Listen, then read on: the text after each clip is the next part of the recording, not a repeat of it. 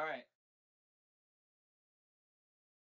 So here's the idea. I'm gonna put my coffee aside so it doesn't.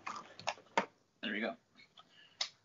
All right. So, um, so a deck of cards here. Now, in a deck of cards, there's 52 different cards. I'm gonna kind of give these a little bit of a mix. And in a game of poker, there's usually five cards dealt, right? But instead of five, I'm gonna deal four cards. So four hands of four. And just like that. Are we good so far?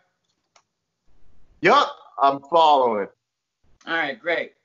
So a lot of times I do this trick, and people accuse me of um, manipulating the cards and kind of controlling them in a certain way when dealing them out. So in order to uh, to take away any suspicion arisen, um, I'm gonna go ahead and kind of uh, kind of just kind of mix these up and give it a cut, and I'm gonna deal these back out. All right, just like so.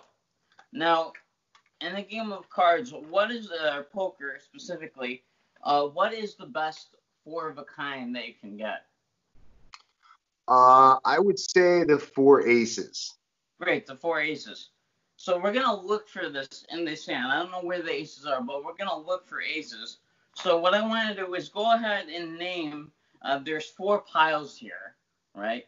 So name name a number one, two, three, or four. Uh, let's go with uh, two. With two? Yes. Okay. And the cards, the cards that you name, I'm, I'm gonna get rid of. We're gonna narrow it down. Okay. So now we have, now we have one, two, three. Which which pile do you want to get rid of? Um, let's do three. Three. Okay. And now we have one or two. Which pile do you want to get rid of? Let's get rid of one. We'll get rid of one. Was that fair? It's pretty fair, man. Yeah, I mean, you know, I didn't do any like switcheroo, like, oh, I can, uh, I'm gonna keep this pile now. I was in a magician's force. I told you whatever pile that you said you wanted to get rid of, we get rid of that, right? So we Yeah. we, got, we narrowed it down to four cards. One, two, three, four. Now we're gonna find an ace. So name a number one, two, three, or four. Three. And do you want do you want to keep that card or do you want to get rid of it? Actually, Um, do you want to keep that card or do you want to pick another card to choose? I'll let you change Uh. I want to keep that card. So three, right? Yes, sir. You'd be impressed if that was an ace. I would be impressed. There you go. Sweet.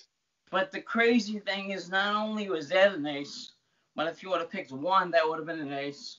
If you would have picked two, that would have been an ace. And if you would have picked three, that's all four aces. Awesome. Fantastic, buddy. That was a great trick, man.